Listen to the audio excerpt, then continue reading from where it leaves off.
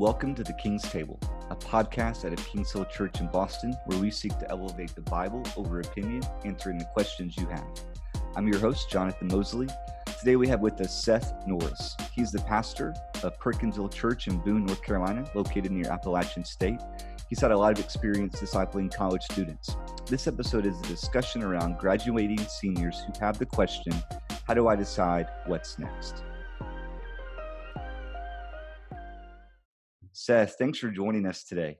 Hey, brother, thanks for having me. It's good to be with you, my friend. Uh, man, I'm not going to lie. Whenever I say your name, the image of Chuck Norris actually comes to mind. I, I, just I can't help myself. well, I, I, have a new beard, as you know. Some will see, uh, but if people are listening, they won't. And so the memes have already begun.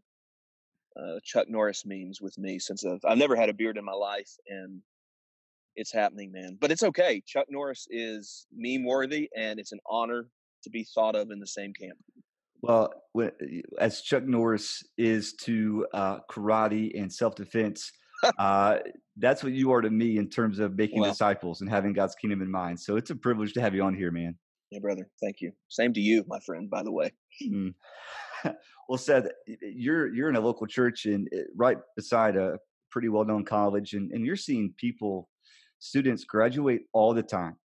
And so I this you know we just want to have a discussion around how can we guide students you know having God's kingdom in mind after they graduate. So what are when students are about to to cross that finish line in school, what are you saying to graduating seniors and and even leading up to graduation? What are you saying in the years yeah. leading up to that, freshman, sophomore, juniors? So would love to hear that conversation you're having with them. Yeah, I think I think it's important. You you hit on it. Uh, you said leading up to graduation, and then I'll kind of come back to graduation uh, if I can. We were having a conversation um, late last year with a couple high school seniors, and um, just an informal conversation. And I asked them if if they would consider, or if they had considered, giving two years of their life to missions after college. Um, and they, you know, both said no pretty quickly. I asked why, and uh, they didn't really articulate anything clearly, but they were able to say, well, part of it's because we've never been asked. And so, um, ascending culture begins with an asking culture. And I know you are well versed in that. And, uh, but that begins early. And I, I think that's incumbent upon it, us as disciplers of other people. So, not just being discipled, but the minute we start discipling someone, asking them kingdom questions and getting their heart to at least consider that as a potential calling on their life at some point down the road. So this is something that begins well before even freshman year of college, as soon as someone comes into contact with the believing community. Um, and that that's just kind of a reminder to me.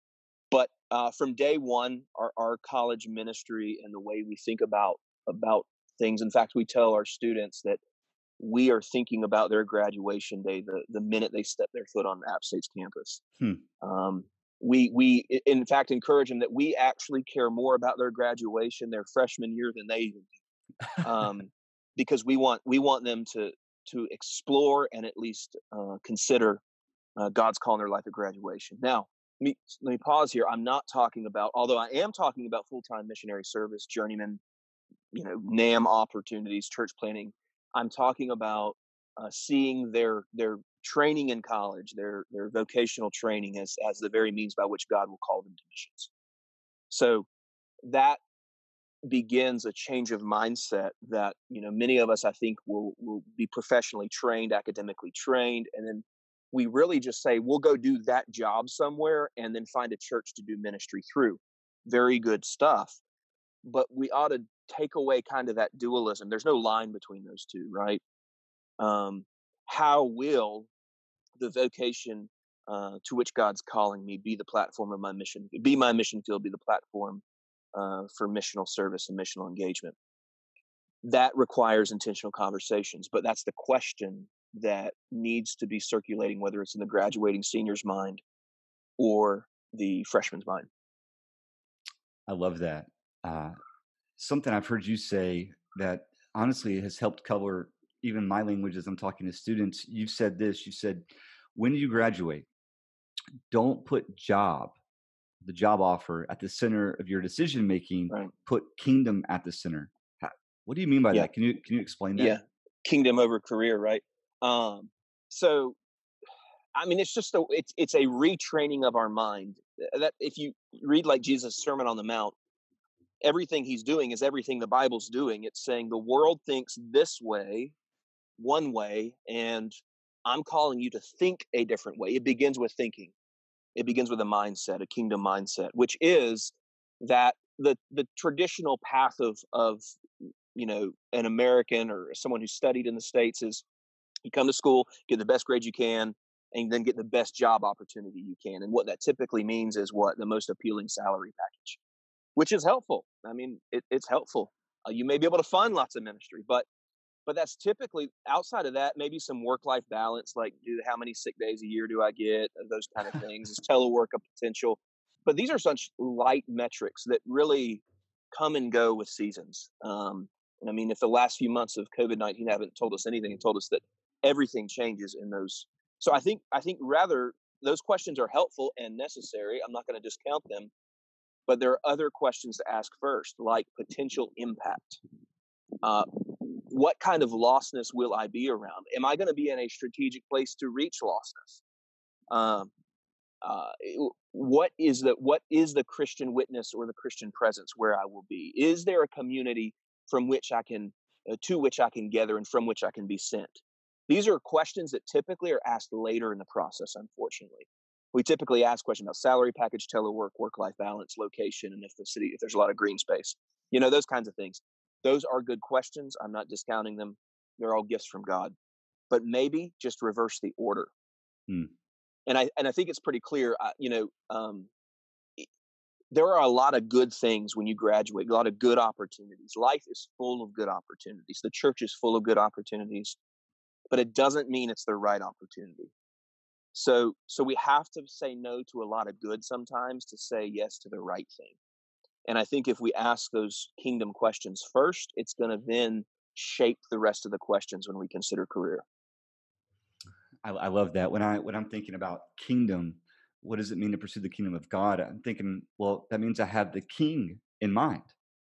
Yeah. Luke 15 gives me this beautiful portrait of three scenes that talk to Jesus's heart for the lost: a, lost sheep, a lost coin, a lost son. Uh, the only time in the Gospels where Jesus gives three illustrations to drive home the same point. He really cares about the lost. Or when you see the king walking into the temple and turns the tables over yeah. because he's righteously angry at the injustice or yeah. traveling traveling from town to town and meeting felt needs and just at the heart of Jesus is this this servant. He he's meeting the needs of people around him, but coming with the message. And I love what you're saying because if I'm making decisions post graduation, if I'm having God's kingdom in mind that I'm thinking about the king. So uh, am I am I putting what he cares about at the forefront of my decision making? Where, where, do I see great lostness? Where do I see injustice that I can step into and bring justice? Where can I be of best service with the giftings, the wiring, my education? Where can I serve with a, a gospel centered community? So I, I just love what you're saying there as far as kingdom over career. Mm-hmm. Yeah, and, and I think right here is also important um, the question that I started with of those high school seniors. Uh, I just got to say, I mean, there is no time. The world is telling you to to. It's like a game of Monopoly, and the world's telling you you do A, then B, then C, then D. And at some point in your mind, as a graduating senior, you're probably thinking, "Yeah, there will be a day when when I'll do full time missionary work. You know, I can see myself doing that." There is no better time than uh, than the next two years after graduation uh, to give yourself to full time missions, whether internationally or in North America. I'm telling you, there's no better time. And that package that you're offered, that great salary package, chances are, this is a little known secret, it'll be there when you get back. And and and but the promise is, if it's not there when you get back, there's another one and it may not look like you think it would. Uh, you may not come back. You may serve where you go forever, but just you know, don't don't allow yourself to too quickly make a decision is a key word. we say we've prayed about it. Have we prayed the King's will or our will? You know. Um, but yeah, I just got to throw it in there. Like, don't throw that out the window, even as a graduating senior who's not considered it. Um, best time, best opportunity of your life is going to be right now uh, to give two years or more uh, to full time missions. That's great. When, when, we're thinking about pursuing God's kingdom after graduation, as, as you've talked with a lot of uh, seniors who are making some big decisions, you know, once they get the diploma, what are things that you see get in the way of putting kingdom at the center, or were things that get in the way where you see that career kind of take priority over over kingdom? How would you speak yeah. into that? Debt and expectation. Um, debt feels like it's crushing you, or you've got to deal with it quickly. Uh, and you do. You need to be responsible to that. Uh, you kind of see that biblical model of how how debt becomes so enslaving, right? When, when you feel a lot of student loans over your head that now there's no more deferred payment. So debt and then expectation, and and really by expectation, typically that's family expectation. Uh, maybe they help fund your education. Maybe you're the third generation MD or MD to be. I don't know what it is, um, but typically, most expectations um, can be dealt with, and a lot of times those expectations are us putting them on ourselves mm-hmm. Because we never t- take the time to have the hard conversations. Hey, mom, dad, you know, whomever it may be, I feel this way. Is it true? Because I sense God desiring me to do this. Um, with with debt, manage that debt, make a plan, but also understand there's a pattern to that as well. Like um, the last thing you want to do is is feel enslaved to job to try to free yourself from the enslavement of debt, to trade one enslavement for another. And so, because uh, that's that's often what people do. Um, honor that, seek ways to to to manage that, but don't allow it to crush you. Don't allow it to crush you, um, and don't let it drive the entirety of your thoughts and opinions after graduation. That's good. That's good. Yeah, I, just thinking back to when I graduated, and almost like there, there's this tug of war, pulling on one side uh, what God wants for me, and the other side different things that you just mentioned as far as pulling at me in the other direction. And I think what I've seen things get in the way in terms of where I'm not pursuing God's kingdom, but maybe my own is you've already mentioned this going where the money trail leads.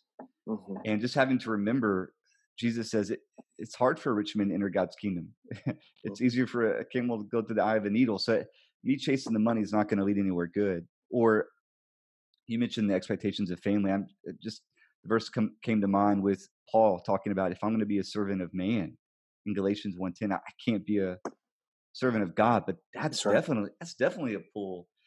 The uh, wanting to to be uh, pleasing the people in our lives and eh, people that we love, people that care about us, or uh, maybe you've you've seen this too, but that that temptation to think about, all right, once I graduate, I'm going to go somewhere and I want to settle down. I'm finally going to be a place where I can relax, get that house, get that fence, get that golden retriever, and uh, isn't it like a gold? It's a golden doodle now. That's the new dog okay. So just, just, just you need to be aware of that. Are those the dogs that uh, they don't they don't shed they're, any hair? Supposedly they're hypoallergenic. They're just huge poodles. Okay. Okay. So anyway, so yeah, you're gonna get that golden doodle and that picket fence. Yeah. Yeah, and just having to go back to, I'm thinking about uh, Hebrews 11, that, that hall of faith. And what defined their faith was that they're not looking to this world, they're looking to the next. And that's what's really guiding their decision. So trying to yeah. f- forsake all this temptation of like right here, right now, being comfortable. Yeah. Yeah. Uh, you know, and I, I, think there's a balance there too. Uh, people may end up in that type of situation. They may end up in an opportunity where they get a golden doodle and, and you know the measures the measure but you may not and and it's it's a matter of of delight and desire that's what the psalmist would tell us right? So we're going to desire what we delight in um and delight in most and so if if a golden doodle and a great paying job are properly ordered under an obedience and love for christ then great. Mm-hmm if you'll figure how to fit the king in after you get the golden doodle and have two kids something's wrong with that ordering. So it's the kingdom is a rightly ordered kingdom too. That's good. And and that goes to prioritizing, like I said earlier, kind of your decision matrix uh, following graduation. It's a it's a rightly ordered matrix as opposed to the world. Just remember, it's like you, you said it. I've heard it said the, the kingdom of God is an upside down kingdom, right? Strong or weak, weak or strong, poor or rich, and rich or poor, and keep going with that. That's the way they talk about it. So, whatever decision matrix you're, if you're at a secular institution, which almost everyone is, the way that your career counselors speak, listen to it. There's some truth in there. Flip it on its head, and you'll see the kingdom principle principle at work. Usually. Yeah, that's really good. Seth, I want to take a minute now just describe our logo because most people don't know why our K is backwards. Thank you. I always remind you of your logo. it's uh it the re, you know it's not just a stylistic choice it's to remind us that like you mentioned the kingdom of god is backwards to the world that we live in uh thank you for that reminder it's good it's good for my heart to hear that uh when when when considering staying or going for a college student staying or going what questions would it be important to be asking? If God is calling that student out of their current context, what would it mean to leave well? And what what should be some of my biggest prayers and pursuits as I'm making that transition? Because I said we're seeing people stay and, investing back into our church, and we thank God for that. And we also celebrate when people are sent out with God's kingdom in mind. That's we want to be a ascending church just as much as seeing people invest in what God's doing where we're at how would you encourage that student that feels called to to stay to feels called to go uh, what are you saying to the to those different students? So i was talking to a student yesterday who's probably um, either has hit the submit button for journeyman through the international mission board either today or will do so by the end of the week. And she said something profound that i think's uh, pertinent here. She said i she went um, uh, a few months ago just to spend some time with full time missionaries to see their rhythm. And she was telling me, she says, I was so comfortable there. Not, I was comfortable. I, I felt an e. I felt a peace there. It was the word because I was doing the same thing there. I'm doing here, and that that's important if you feel called particularly. Like, what is the rhythm of your ministry where you're at? Like, are you faithful in making disciples? Um, are you faithful in in church? Are you faithful in community? If you're doing that here, sometimes people will have this notion that if, when they get there, that's when ministry will begin. You know, they're just they're just they're just training up for when they get there. So that's a. I think if you're considering, or sensing a card coming by me right now, so the background is. If you're sensing um, calling, the first question is, what are you doing where you're at? Because I do know this God has called you where you're at. Um, That's good. So, but, but at the same time, kind of a dual track, still wrestle through, talk about that calling with others in the rhythm of ministry where you're at. Don't let that go. Um, it's there for a reason. Uh, if you are feeling a strong pull to stay, which is very much a call of God in Scripture at times, um, then don't I, I don't feel bad about that. Sometimes, as the church, we talk about going, and um, you know, others just feel like, oh, I'm I'm just a sender. Uh, well, no, there's no just as in the kingdom. Uh, in that sense, there's not a, a priority, right, in the body of Christ. So, so like, own that own that. Again, both of these are founded in motive. Why? Why? And it goes back to that kingdom prioritization that we talked about towards the beginning. Um, I would say that there is a joy in both, and the church is healthiest when both are happening, right? Yeah. Um, it's that's what makes the church the church is when there are senders and goers, and it's this movement of senders and goers. Yeah, that's great. Yeah, I loved uh, just kind of the challenge, but the truth of what you're saying there in terms of if I if I feel called to go, I should be able to answer the question. Whatever I'm thinking about, I'm going to be doing there. Have I been doing it here and now? Yeah. You yeah. know, I, I've heard I heard someone say before you think about going on a mission trip overseas, have you been able to go across the street? Yeah, uh, yeah. But then also just the the the importance of getting godly people around your life to help you with that decision. I mean, that's God's given us wisdom through the church to help us discern what God's calling in our lives is. Yeah, and I mean, people are people everywhere in the world, right? So, so if you can't do or don't feel, if you don't feel like you're called to do ministry where you're at, uh, I, I need you to check your motives, right? If you don't feel like you're called to pour into the local church or the people where you're at, uh, maybe just because they're familiar to you, that's not as exciting. I think your motive for missions may be one of, uh, maybe more of an adventurous spirit than a call of God. So, so like if you don't love people where you are, um, then what I would encourage you to do if you want to go to another country is take a great vacation there. But um, if you love people where you are and you love people because they're image bearers and you sense that calling, then that's very likely the Lord's wanting you specifically to those that, those people groups or that place. That's good. Seth, just uh, we call it the King's Table because we want to make it conversational. This podcast, uh, say a student is sitting, I think right now you're on a four wheeler. Yeah, by your house in Boone, North Carolina. People, and when people watch the video, they'll see this is the surrounding I have. So this is great.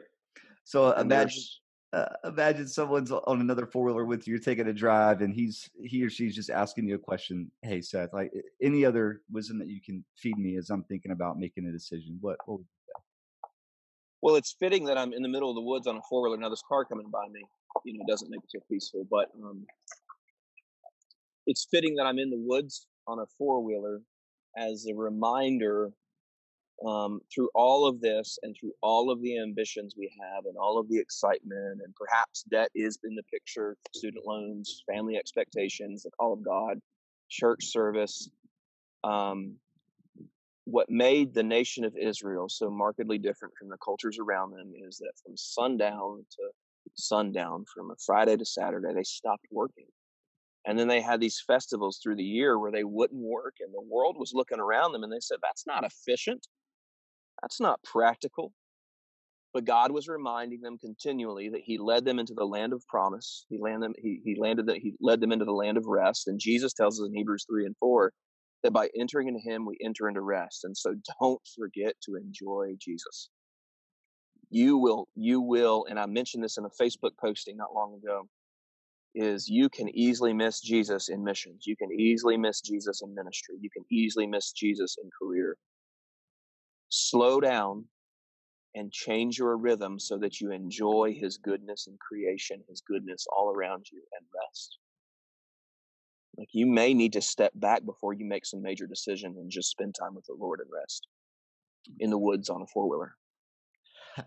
uh, people in Boston said they don't they don't have that luxury.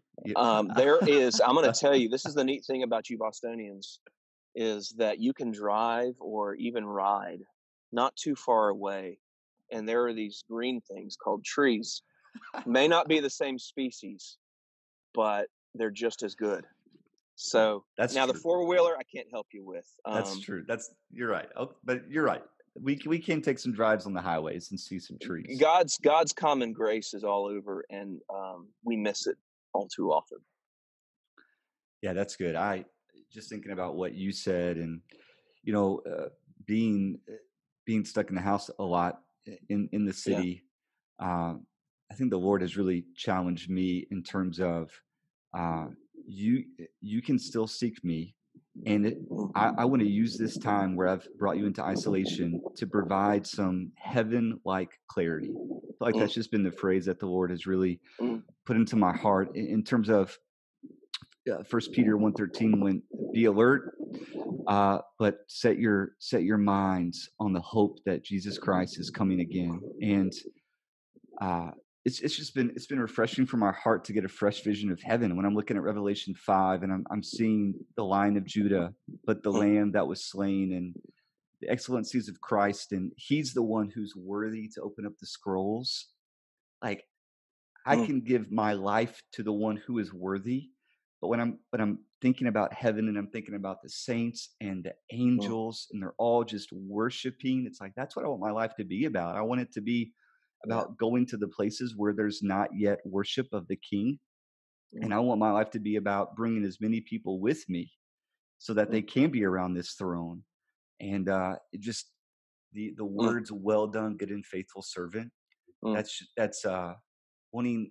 Uh, you know, we, we tend to think of it, uh, all right, well, when I get to heaven, Mm. but will I hear those words? And I'm trying to just to reel it back and say, all right, when I wake up and I go to sleep, would would the Lord have said on this day, well done, good Mm. and faithful servant? And so it's just been that, that's maybe something I would say sitting down uh, over a cup of coffee with someone, like you mentioned, take a step back, get a fresh vision of heaven, and let heaven like clarity help you make earthly decisions.